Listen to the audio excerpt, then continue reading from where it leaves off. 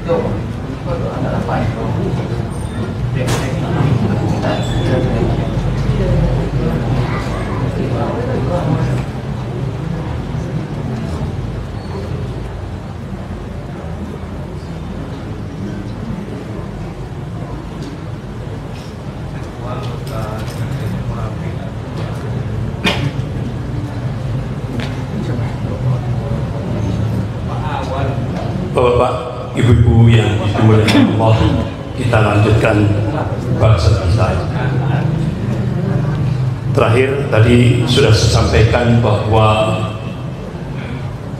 sebagaimana tadi proksi Yahudi itu ada dua. Jadi bonekanya Yahudi itu ada dua. Tangan kanannya Amerika, tangan kirinya Cina itu proksi Yahudi. Kita sudah diingatkan oleh Allah Subhanahu wa taala dalam surah Al-Maidah ayat 82. A'udzu billahi minasyaitonir rajim. La asyaddan nas adawatan lil ladzina amalu yahuda wal ladzina asyraku. Sungguh kalian akan menyaksikan orang-orang yang paling keras permusuhannya terhadap hamba-hamba Allah yang mukmin kata Allah al-Yahud Yahudi dan orang-orang musyrik dan itu nyata kita bisa menyaksikan tadi kan sudah saya sampaikan. Dua faksi Yahudi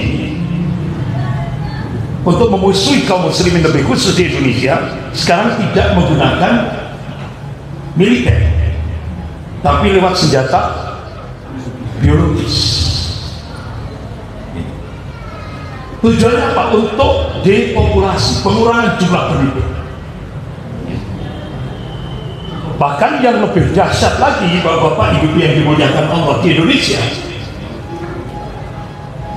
Ini ada gerakan Syria gerakan rahasia Yahudi yang ada di Indonesia. Nah sekarang pemerintah mendata orang Yahudi di Indonesia sampai data statistik tahun 2000 itu jumlahnya 5 ribuan jadi rata-rata Yahudi keturunan Belanda dan Yahudi keturunan Irak. Mayoritas berada di Minahasa Sulawesi Utara Manado. Bahkan bapak-bapak ibu-ibu bisa lihat ya di Minahasa mereka bikin menorah. Besar sekali dan itu disupport oleh Pemda pemerintah daerah Mina Minahasa. Itu simbol Zionisme Yahudi internasional. Bahkan dari Minahasa itu minta supaya agama Yahudi diformalkan di Indonesia. Diterima di Indonesia. Nah, jadi kan luar biasa. Bapak-bapak, ibu-ibu yang dimuliakan Allah. Nah, program rahasia yang ini sekarang kita tidak tahu. Itu yang sering disebut dengan kodek elementaris. Makanya Profesor Dr. Siti Fadila Supari mengingatkan, ayo Tibun Nabawi, gunakan herbal. Obat-obatan herbal. Ini Pak. Ini solusi yang diberikan oleh beliau. Nah, kembali ke kok tidak kena ini? Remote anunya?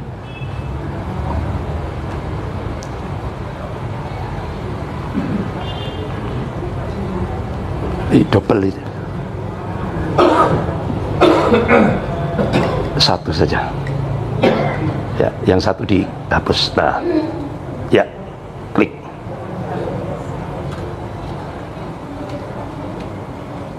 nah bukan bukan. Bukan yang tadi. Bukan. Hapus. Ini dihapus. Aja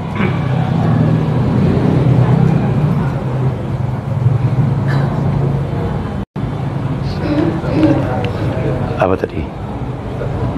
Kesiagaan. Kesiagaan. Nah ya sampai ke ini ya terus Bapak-bapak, ibu-ibu yang dimuliakan Allah. Jadi sekarang Zionis Yahudi mencengkeram Indonesia. Implikasinya apa, Bapak-bapak, ibu-ibu yang dimuliakan Allah? Zionisme Yahudi di Indonesia ini bahkan sampai Jenderal Sumitro ini Jenderal Angkatan Darat yang paling killer Jenderal Sumitro beliau tulis buku beri, diberi judul dari Pangdam Mula Warman hingga Pangkop Kamtip beliau mengungkap gerakan Zionis Yahudi di Indonesia ini ya itu sampai ini Ipolisasbut Hankam semua lini dimasuki oleh dia bahkan kantor dagang Israel yang ada di Jakarta itu cuma kamuflase saja. Itu ternyata digunakan operasi intelijen Mossad. Pengendalinya mana? Eh, Singapura. Itu pengendalinya. Makanya kenapa Ustadz Abdul Somad di stop tidak boleh masuk Singapura karena Singapura itu satelit Israel wilayah Asia Tenggara. Cukup takut terhadap seorang ulama. Ya. karena dulu Singapura itu 93% Muslim Melayu. Nah karena umat Islam Singapura waktu itu buta politik yang dilihat cuma casingnya saja. Akhirnya paham Lee Kuan Yew. Akhirnya dia pakai casing Islam. Topeng Islam. Akhirnya Lee Kuan pakai kopiah hitam pakai baju takwa ya kan? Akhirnya umat Islam Melayu terhipnotis. Uh ini calon pemimpinku yang bagus. Sama dengan di Indonesia. Ahok pakai kopiah hitam, pakai baju takwa, pakai sorban. Akhirnya umat Islam Jakarta mayoritas milih Ahok. Padahal 19 ayat dalam Al-Quran Allah haramkan memilih pemimpin kafir. Haram hukumnya Allah sendiri dan Rasulnya. Contoh dalam surah An-Nisa ayat 144 itu. A'udzubillahi minasyaitonir rajim. Ya ayyuhalladzina amanu la tattakhidul kafirin awliya min dunil mu'minin at-turidu an alaikum sultanan mubina Hai orang-orang yang beriman, janganlah kamu menjadikan orang-orang kafir itu sebagai pemimpinmu dengan meninggalkan orang-orang mukmin. Inginkah kalian mengadakan satu alasan yang nyata bagi Allah untuk menyiksamu? Sampai seperti itu Allah tegaskan. Haram hukumnya. Tapi ternyata di Jakarta mayoritas umat Islam pilih Ahok. Kenapa itu bisa terjadi? Karena min amplopi bin fulus. Ini Padahal Ahok sudah disetting oleh Cina 2019 Ahok harus jadi RI 2 2024 Ahok harus jadi RI 1 tapi wa makar wa makar Allah wallahu khairul makirin. Mereka membuat makar tapi Allah balas makar mereka. Dan Allah sebaik-baik membuat makar. Allah plesetkan ucapan Ahok di Kepulauan Seribu. Ahok melecehkan surah Al-Maidah ayat 51 A'udzubillahi minasyaitonir rajim ya ayyuhalladzina aman.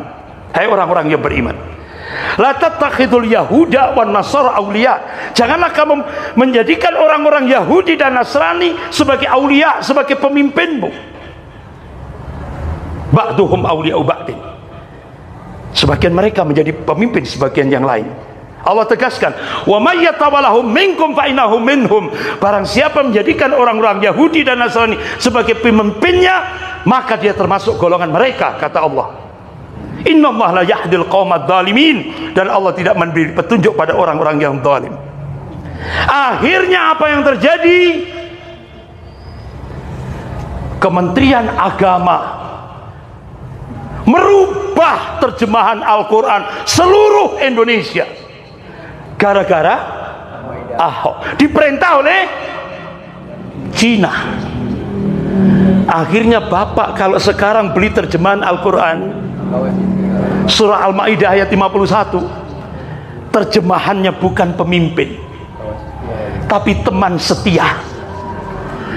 Coba aulia diterjemahkan teman setia. Padahal kalau teman setia itu kan bitona iya kan? Bukan aulia. Gara-gara Cina terjemahan Al-Quran seluruh Indonesia dirubah termasuk di Pekanbaru. Atas perintah Cina. Xi Jinping. Ini. Nah ini coba bapak beli Al-Quran terjemahan. Beli sudah dirubah. Aulia diganti. Kawan setia Astagfirullah gara-gara satu Cina Bapak-bapak, ibu-ibu yang dimuliakan Allah. Jadi ternyata implikasi Zionisme Yahudi di Indonesia itu umat Islam akan diliberalkan. Dengan sebuah nota diplomatik dengan kode referensi Beijing 1448. Isinya apa? Kementerian Luar Negeri Cina akan melakukan akselerasi percepatan menjadikan Indonesia sebagai sebuah negara sekuler. Sehingga akhirnya wakil Perdana Menteri Cina Liu Yangdong hari Rabu 27 Mei 2015 pidato di auditorium FISIP Universitas Indonesia di depan akademisi mahasiswa-mahasiswa syarat Indonesia mendapatkan bantuan hutang tahap pertama 647 triliun. Agama harus disingkirkan dalam kehidupan berbangsa dan bernegara. Benar? akhirnya Profesor Yudian Wahyudi diangkat menjadi kepala Dewan Pembinaan Ideologi Pancasila selesai diangkat di Istana Negara beliau memberikan statement. Agama musuh terbesar Pancasila. Agama musuh negara start 2016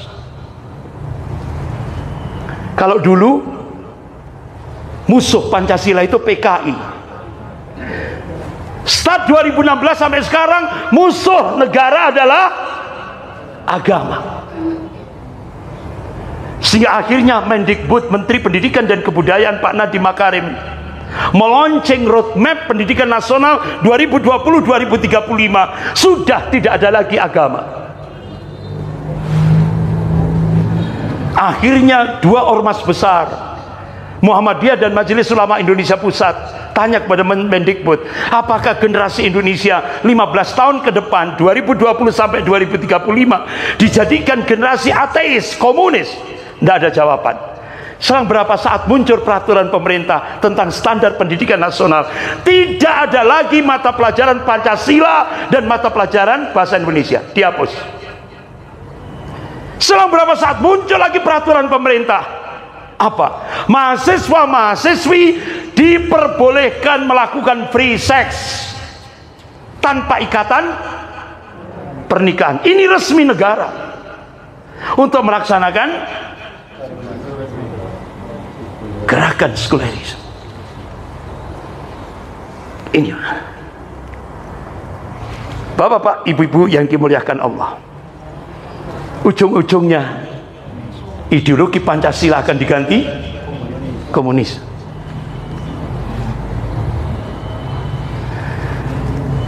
Puncaknya ateis.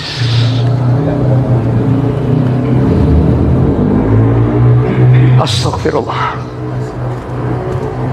ini Pak. Begitu saya dipanggil mantan Panglima TNI, ngeri Pak. Nangis saya. Gimana nanti anak cucu kita?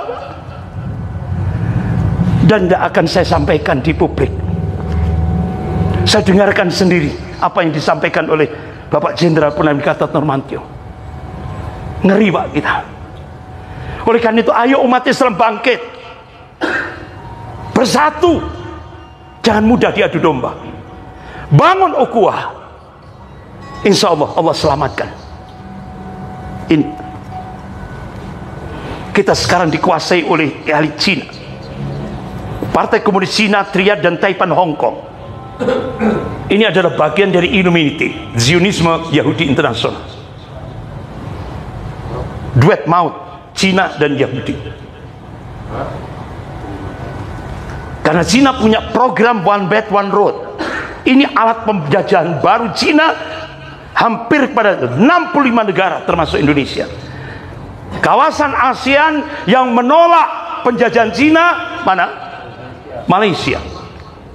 Dr. Mahathir Muhammad langsung tegas bongkar jalan-jalan tol itu boyong kembali ke Cina dan kami tidak mengakui perjanjian hutang dengan Cina.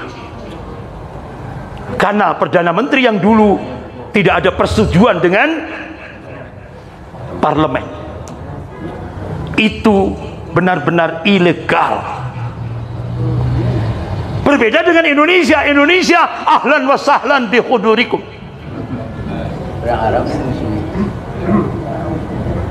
Ini Pak. Bapak-bapak, ibu yang dimuliakan Allah. Inilah strategi Cina yang sekarang melakukan yang dilakukan untuk Indonesia one country and two system. Satu negara tapi dua sistem. Elaborasi ideologi sosialis komunisme dan sekuler kapitalisme ini digunakan dengan di backup oleh militer Cina yaitu tentara merah. Makanya mantan gubernur DKI Pak Sutioso. Jenderal Sutioso yang dulu mantan kepala BIN Badan Intelijen Negara. Dampak Indonesia dapat bantuan hutang tahap pertama 647 triliun. Wakil Perdana Menteri Cina Liu Yangdong pidato di auditorium FISIP Universitas Indonesia hari Rabu 27 Mei 2015 10 juta rakyat Cina daratan wajib masuk ke Indonesia target 2020 harus genap 10 juta. Kemudian 2022 start bulan April tahap kedua. Dan presiden sudah mengumumkan sudah kan? Start bulan April akan berbondong-bondong lagi rakyat Cina daratan masuk ke Indonesia. 10 juta sudah selesai hanya pemerintah menyiapkan 19 bandara udara dan laut untuk menyongsong. Bukan buruh Pak itu tentara. Merah. Akhirnya utusan utusan dari Mabes Angkatan Darat datang ke pesantren-pesantren termasuk ke pesantrennya Ustadz Muhammad Zulkifli Ali da, uh, Zulkifli Ali termasuk ke pesantren saya di Malang datang Ustadz TNI yang aktif itu 500 ribuan kurang lebih sementara tentara merah sudah 10 juta, juta. Kita TNI tidak akan mampu kalau tidak ditopang oleh umat Islam. Umat Islam wajib menyelamatkan NKRI. Makanya kenapa Jenderal Purnawirawan Gatot Nurmantio memberikan statement benteng terakhir negara kesatuan Republik Indonesia ini adalah umat Islam. Itu. Dua pakar intelijen dunia dua pakar strategi perang dunia Peter Warren dan August Cole melakukan riset terhadap Indonesia hasil risetnya disampaikan oleh Bapak Prabowo diprediksi 2030 sudah tidak ada lagi Indonesia. Tahun 2030 sudah tidak ada lagi Indonesia. Yang adalah adalah Indo Cina. Oleh siapa? Mafia Taipan dan komunis Cina. Mafia Taipan itu sembilan naga. Dan komunis Cina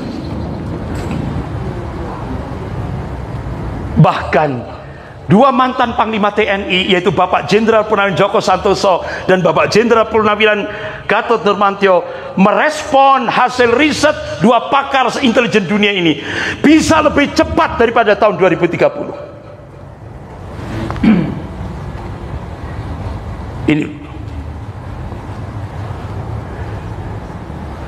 Jadi ternyata konspirasi mafia Taipan dan komunis Cina ini menjebol kedaulatan Republik Indonesia ini dengan dua proyek besar yaitu proyek Mikarta dan proyek reklamasi. Dan satu-satunya gubernur yang berani menggagalkan dua proyek besar untuk menjebol kedaulatan Indonesia. Siapa? Pak Anies Baswedan. Satu-satunya gubernur yang berani menolak penjajahan Cina. Dengan proyek dua proyek besar Mikarta dan reklamasi. Pak Anies Baswedan. Cukup dengan tanda tangan. Luhut mencak-mencak itu kan? Marah kan? Luhut marah. Tapi Pak Anies Baswedan tenang saja. Elegan beliau. Tenang tidak tidak tidak ada rasa gelisah. Tenang. Luhut marah sampai melotot matanya. Tapi beliau punya power sebagai gubernur. Punya power punya kekuasaan. Oleh karena itu kenapa Pak Anies Baswedan setelah kita berhasil melakukan perlawanan terhadap kolonialisme Cina ayo umat Islam se-Indonesia kita selamatkan NKRI lewat gerakan perubahan yang dilakukan oleh Pak Anies Baswedan. Ini. Ternyata proyek Mikarta itu grand design Cina untuk mengintegrasikan Indonesia kecakupan wilayah ekonomi Cina Jadi kalau kekhawatiran ini benar-benar terjadi maka Cina dalam jangka panjang sistem pengelolaan infrastruktur pelabuhan laut bandara akan dikendalikan pemerintah Cina. Dengan begitu berarti skema kerjasama ekonomi yang dibangun dengan pemerintah Indonesia sejatinya merupakan entry point, pintu masuk bagi penguasaan Cina terhadap sektor pertahanan dan kemiliteran Indonesia yang pada perkembangan akan menggerus kedaulatan wilayah nasional Indonesia. Itulah yang disebut dengan bencana geopolitik. Jadi diprediksi 2030 di Indonesia akan terjadi bencana geopolitik. Apa Pak? Bencana geopolitik. Indonesia tidak tidak sudah tidak punya lagi wilayah kedaulatan. Karena kedaulatan sudah dikuasai Cina. Bahkan ini road to the president. Ahok sudah disiapkan oleh Cina. 2005, 2005 dia menjadi bupati Belitung Timur. 2009 dia jadi anggota DPR Komisi 2. 2014 dia jadi gubernur DKI Jakarta. 2016 sampai 2017 sampai 2019 Cina meminta agar Ahok jadi RI 2 tapi wa makar wa makar Allah wallahu khairul makirin. Mereka membuat makar tapi Allah balas makar mereka. Dan Allah sebaik-baik pembuat makar. Allah munculkan seorang ulama. Siapa? Habib Rizik Sihab begitu Ahok diplesetkan oleh Allah ucapannya di kawasan Kepulauan Seribu Akhirnya Habib Rizik Sihab minta kepada umat Islam dari Sabang sampai Merauke bangkit. Akhirnya muncul peristiwa 41 satu, puncaknya 21 dua. Allahu Akbar. Tanpa undangan berkumpul umat Islam dari Sabang sampai Merauke di Monas 13 juta 500 ribu orang tanpa undangan Allahu Akbar benar-benar itu karunia Allah diturunkan untuk menyelamatkan Indonesia. Akhirnya Ahok gagal. Diganti oleh Kiai Ma'ruf Amin. Ini tapi Cina ingin berusaha. 2024 Ahok jadi RI 1 tapi ternyata Menko Polhukam Pak Mahfud MD sudah memberikan statement Ahok sudah tidak lagi, tidak boleh lagi menjadi pejabat. Walaupun sekarang jadi komisaris Pertamina. Ahok sudah tidak boleh lagi jadi menteri jadi ya, tidak boleh tidak boleh. Karena itu napi. Iya kan? Alhamdulillah sudah dikat lewat Menkopol Hukam dikat sehingga akhirnya apa yang diinginkan oleh sembilan naga ada pertemuan di Pulau G. Ada tiga opsi yang diminta oleh sembilan naga yang sudah menguasai Indonesia yang sering kita sebut dengan oli oligarki. Jadi yang berkuasa di Indonesia itu oligarki apa oligarki itu Cino. Itu oligarki. Bahasanya kan elegan tapi sebenarnya ya Cino itu. Itu yang berkuasa di Indonesia di pertemuan di Pulau G minta tiga opsi. Opsi yang pertama nambah kekuasaan. Tiga periode. Opsi yang kedua penundaan pemilu. Opsi yang ketiga presiden proksi Masya Allah.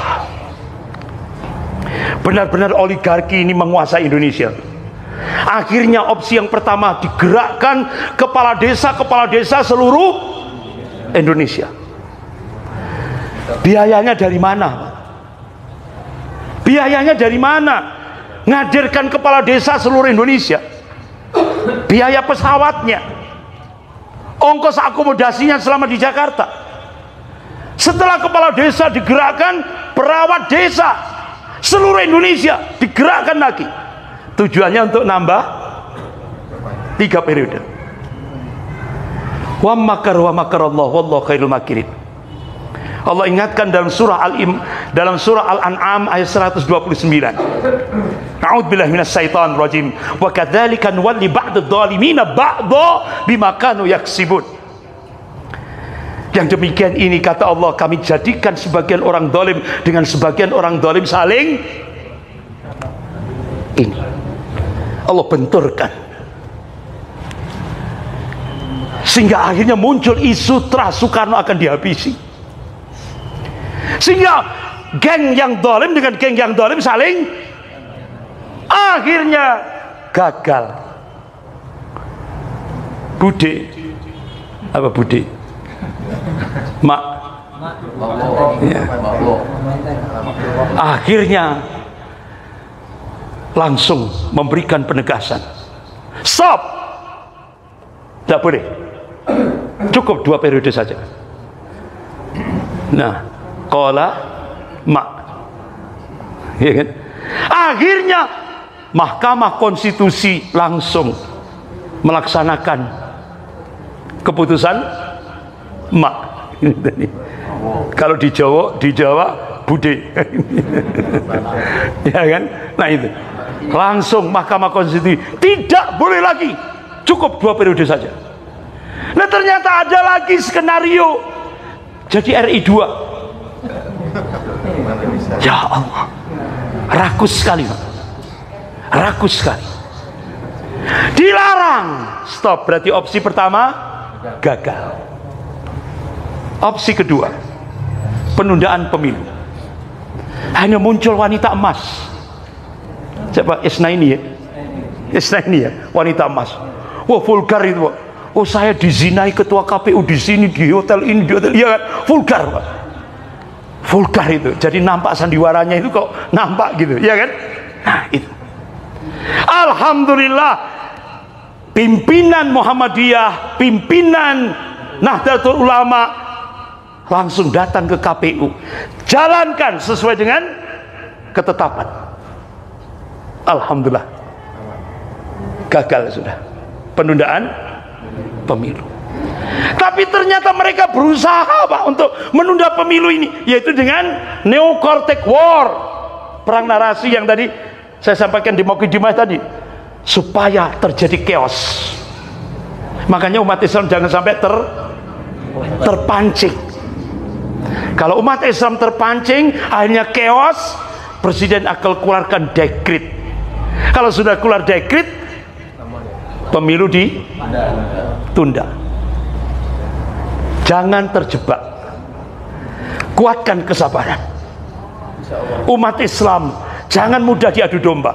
Ayo bersatu. Alhamdulillah. Pimpinan pusat Muhammadiyah Profesor Haidar Nasir. Sidal silaturahmi ke ke kantor PBNU menemui Kiai Yahya Stakuf. Dan akhirnya Muhammadiyah dan NU bersatu mengeluarkan statement. Kami berusaha untuk memunculkan pemimpin yang bermoral pemimpin yang berakhlak pemimpin yang beradab. Saya kira itu sinyal kan Pak? Sinyal kan? Insya Allah kalau NU Muhammadiyah bersatu banyak problem kebangsaan ini terselesaikan. Insya Allah. Nah, tinggal opsi ke tiga presiden proksi. Nah ini pak, presiden proksi ini pak. Ini yang bapak ibu harus hati-hati. Karena apa? Kalau dulu mungkin zaman pilpres 2019 mungkin banyak bertebaran uang 100 ribu warna merah jadi tidak menutup kemungkinan 2024 ini tidak 100 ribu, tapi mungkin per orang juta. Karena apa? Cina menyiapkan anggaran unlimited. Tidak terbatas. Hati-hati Pak. Di Pekanbaru dan seluruh Indonesia hati-hati umat Islam. Karena apa? Yang datang itu bukan uang merah satu itu, bukan. Tidak menutup kemungkinan per orang itu jutaan untuk beli suara. Oleh karena itu jangan kaget. proyek pemiskinan sudah digerakkan sudah cukup lama sekali. Dan berhasil sekarang. Bahkan pakar ekonom Pak Faisal Basri melakukan riset dari Universitas Indonesia. Angka kemiskinan di Indonesia itu sudah 52 persen. Ini sangat rentan sekali. Jadi proyek pemiskinan di Indonesia berhasil kalau sudah rakyat ini miskin mudah dibeli suaranya ini hati-hati Bapak-bapak, ibu-ibu yang dimuliakan Allah. Ta'yidullah. Ya kan? Tadi kan Bapak Ibu ternyata ketika Indonesia ingkar akan nikmat-nikmat Allah. Ya Allah, implikasinya ini besar kan? Ya kan? Dampaknya kan besar sekali tadi. Membuat kita ini apa Pak? Pesimis akhirnya. Ya kan? Dampaknya besar. Sebagaimana Allah ingatkan dalam surah An-Nahl ayat 112. A'udzu billahi minasyaitonir rajim. Wa daraballahu mathalan qaryatan kanat aminatan mutmainnah. Ya'tiha rizquha ragadan min kulli makan. Fakafarat bi an'amillah fadaqallahu libasal ju' wal khauf bima kanu yasnaun. Wa daraballahu mathalan qaryatan kanat aminatan mutmainnah. Ya'tiha rizquha ragadan min kulli makan Allah memberikan perumpamaan akan sebuah negeri yang dulunya aman, tenang, tentram, rezekinya melimpah ruah dari segenap penjuru, dari segenap tempat. Ini kalau Indonesia, kalau di Jawa itu namanya gemah ripah loh Cinawi. Indonesia itu. Tapi sayang kata Allah, fakafarat bi an'amillah. Tapi sayang penduduk negeri ini ingkar akan nikmat-nikmat Allah. Salah satu di antaranya agama dipinggirkan dalam kehidupan berbangsa dan bernegara. Akhirnya apa yang terjadi? Fadakal wal khauf. Allah jadikan negeri ini miskin. Sudah terjadi? Sudah. Indonesia kaya raya sumber daya alamnya. Tapi Indonesia masuk 100 negara termiskin tingkat dunia. Kenapa? Hutangnya yang gede, Pak. Hutangnya yang besar. Jadi bukan terus akhirnya Indonesia masuk 100 negara termiskin itu terus akhirnya rakyat rakyatnya tidak punya rumah bukan, tapi hutangnya. Sehingga sekarang ada bayi yang lahir sekarang bayi lahir hari ini sudah dikenai harus bayar hutang kepada negara 50 juta rupiah bayi lahir sekarang itu sudah nanggung hutang kepada negara 50 juta rupiah yang hutang siapa? yang hutang siapa? yang bayar? rakyat ini loh Pak Bapak-bapak, ibu-ibu yang dimuliakan Allah Tadi Jadi benar-benar Allah jadikan fadakalibasal ju' wal khauf kemiskinan dan ketakutan. Rakyatnya was-was gelisah. Ini sudah. Bimakan yasnaun akibat dari apa yang mereka perbuat. Oleh karena itu bapak-bapak ibu yang dimuliakan Allah akhirnya supaya ta'yidullah pertolongan Allah turun di Indonesia ini akhirnya ulama menegakkan amar ma'ruf nahi mungkar. Yang dipimpin oleh Habib Rizik Sihab kenapa Habib Rizik Sihab membangkitkan umat Islam dari Sabang sampai Merauke? Tujuan beliau adalah amar ma'ruf nahi mungkar. Yang beliau takutkan apa yang diingatkan oleh Rasulullah? Kalau Rasulullah sallallahu alaihi wasallam innallaha yaqulu lakum bil ma'ruf wa nahawna 'anil munkar qabla an fala ujibu lakum wa tas'aluni fala u'tikum fi fala ansurukum Hai manusia, sesungguhnya Allah menyuruh kepada kamu, ajak manusia untuk berbuat yang ma'ruf, cegah dari yang mungkar. supaya jangan sampai terjadi satu masa di mana kalian berdoa Allah sudah tidak lagi mendengarkan doa kalian di mana kalian mohon pertolongan pada Allah Allah sudah tidak lagi merespon permohonan kalian masa itu bisa terjadi bukan lantaran kita meninggalkan sholat bukan lantaran kita meninggalkan puasa tapi masa itu bisa terjadi kalau kita meninggalkan posisi duniawi kita yaitu sebagai pengemban amar ma'ruf nahi mungkar. Akhirnya Habib Rizik Sihab membangkitkan umat Islam dari Sabang sampai Merauke. Inilah keberkahan ilahi. Seluruh dunia ini hanya ada di Indonesia tanpa undangan. Allahu Akbar. Nah bapak-bapak ibu yang dimuliakan Allah tadi sudah saya sampaikan ini Nah, Bapak-bapak, ibu-ibu yang dimuliakan Allah.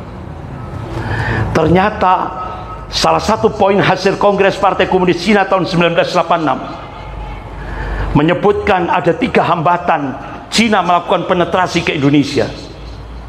Yang pertama regulasi dan doktrin anti komunis yaitu TAP MPRS nomor 25 tahun 66 Undang-Undang nomor 27 tahun 1999. Yang kedua positioning Pancasila sebagai musuh komunis masih eksis.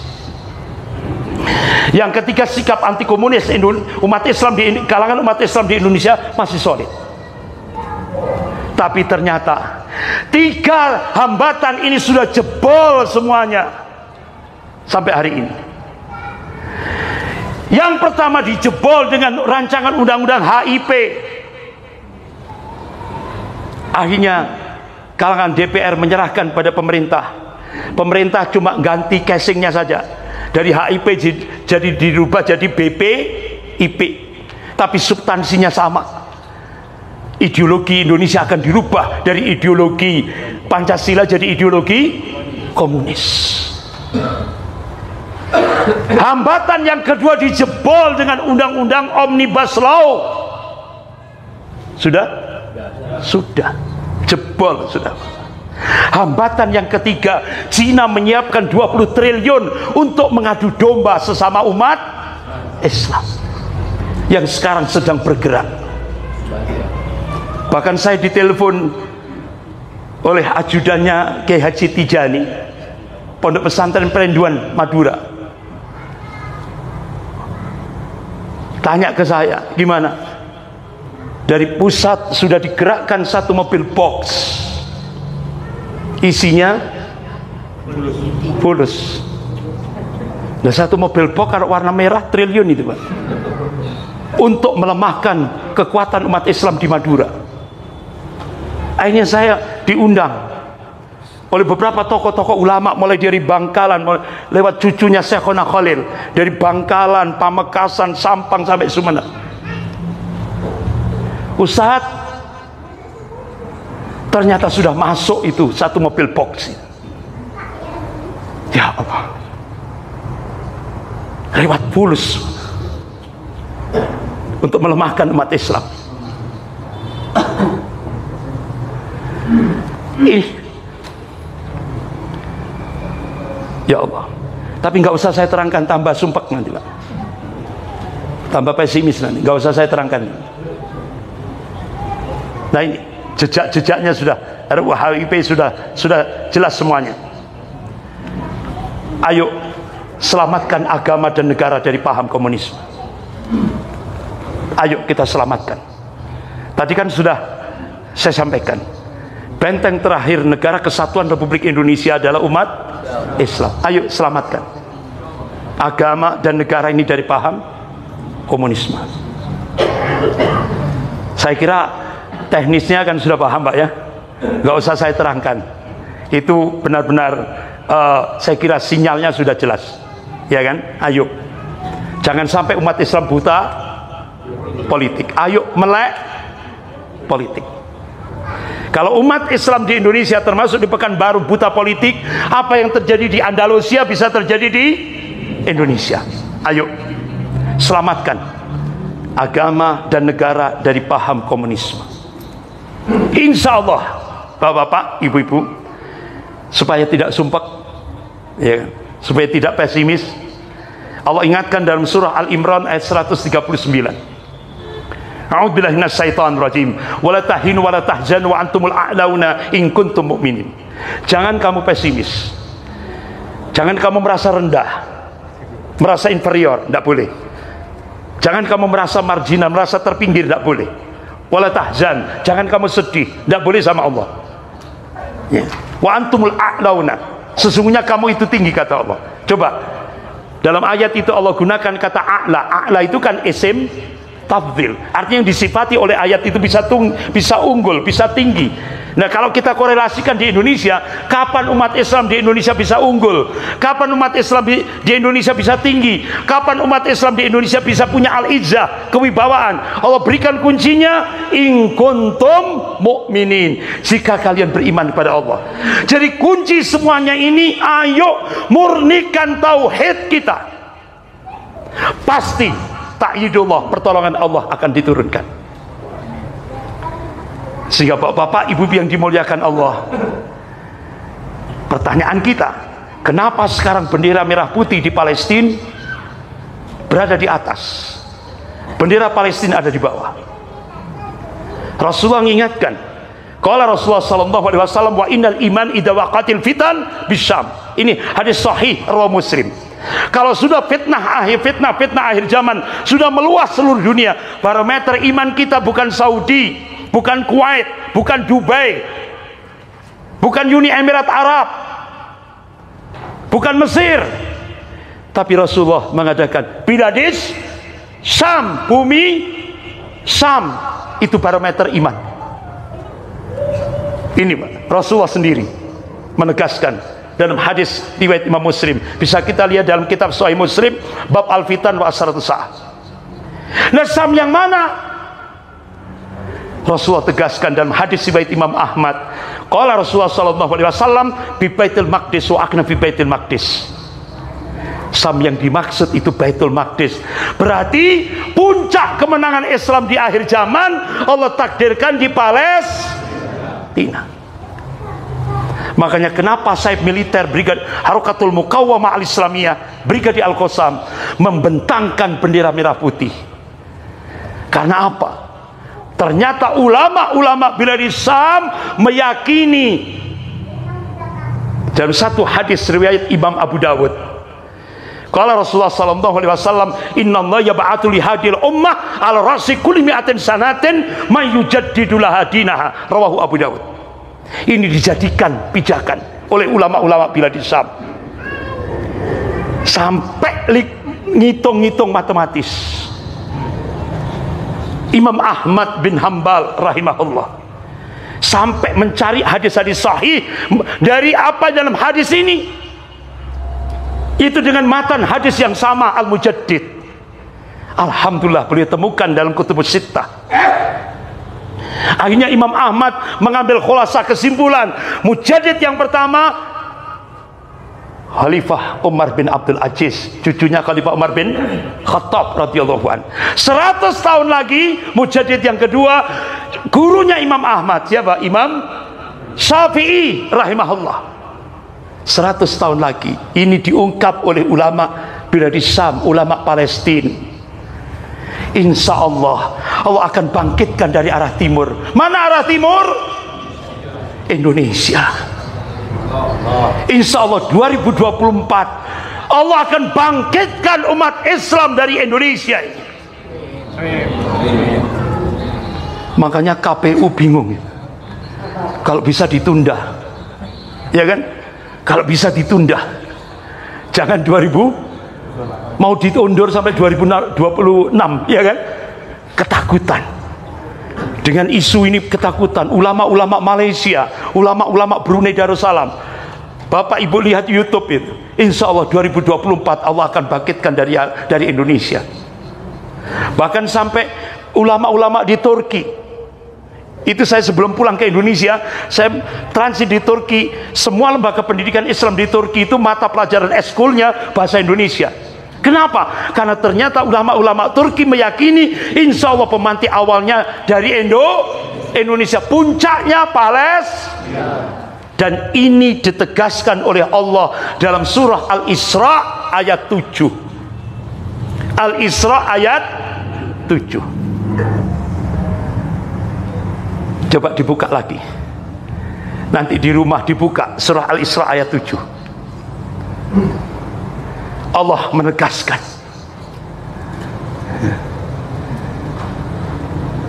Faidah jawadul akhirah. Apabila Allah turunkan hukuman yang terakhir bagi bangsa Yahudi. Kalangan mufassir ahli tafsir menafsirkan saat itulah Allah akan munculkan at-taifah al-mansurah. Kelompok yang akan ditolong oleh Allah subhanahu wa ta'ala. Sebagaimana Rasulullah mengabarkan di Baitul Maqdis liyasu'u wujuhakum kata Allah. Sehingga membuat muram wajah-wajah Yahudi itu. Artinya sok ketakutan. Waliyadkhulul masjid kama dahaluhu awwala marrah. Jadi At-Taifah Al-Mansurah ini kata Allah akan kembali menguasai Masjidil Aqsa. Mereka memasukinya kala seperti pertama dia memasukinya. Waliyutabbiru ma'al tadbira kata Allah At-Taifah Al-Mansurah ini akan menghancurkan semua yang dikuasainya dengan keras Itulah kalangan mufasir menebut Yaumil Ghadab, hari kemurkaan Allah pada bangsa Yahudi. Jadi ada masanya the end of Zionism Empire. Ada masanya tamatnya Imperium Zionis Yahudi akan ada masanya tamat. Sebagaimana Rasulullah menegaskan, qala Rasulullah sallallahu alaihi wasallam, la taqum sa'ah hatta tuqatil muslimun al-yahud tidak akan terjadi kiamat hingga kaum muslimin memerangi Yahudi. Sekarang Yahudi memerangi umat Islam. Tapi nanti ada masanya umat Islam memerangi Yahudi. Dan tanda-tanda itu sekarang sudah mulai nampak sampai Rasulullah mengabarkan di mana batu di belakangnya ada orang Yahudi biidnillah atas izin Allah batu itu bisa berbicara dan memanggil ya muslim ya Abdullah. Wahai kaum muslim wahai hamba Allah di belakangku ada orang Yahudi. Faktulhu bunuhlah. Ini hadis sahih rawahu Bukhari wa Muslim. Jadi tinggal tunggu tanggal mainnya. Insya Allah ini sebuah keyakinan yang harus kita yakini. Karena Allah tegaskan dalam surah An-Najm ayat 3 sampai 4 A'udzubillahi minasyaitonir rajim. Wa may anil hawa ila wa may anil hawa ila wahyun yuha. Apa yang disampaikan oleh Rasulnya itu bukan ahwa, bukan hawa nafsu. Apa yang disampaikan oleh Rasulullah itu wahyu yang diwahyukan oleh Allah kepada Rasulnya. Pasti terjadi. Sekian lebih kurangnya saya mohon maaf. Kita akhiri dengan doa kafarat majelis subhanakallahumma wa bihamdika asyhadu an la ilaha illa anta astaghfiruka wa atubu ilaik. Wabillahi taufiq wal hidayah. Wassalamualaikum warahmatullahi wabarakatuh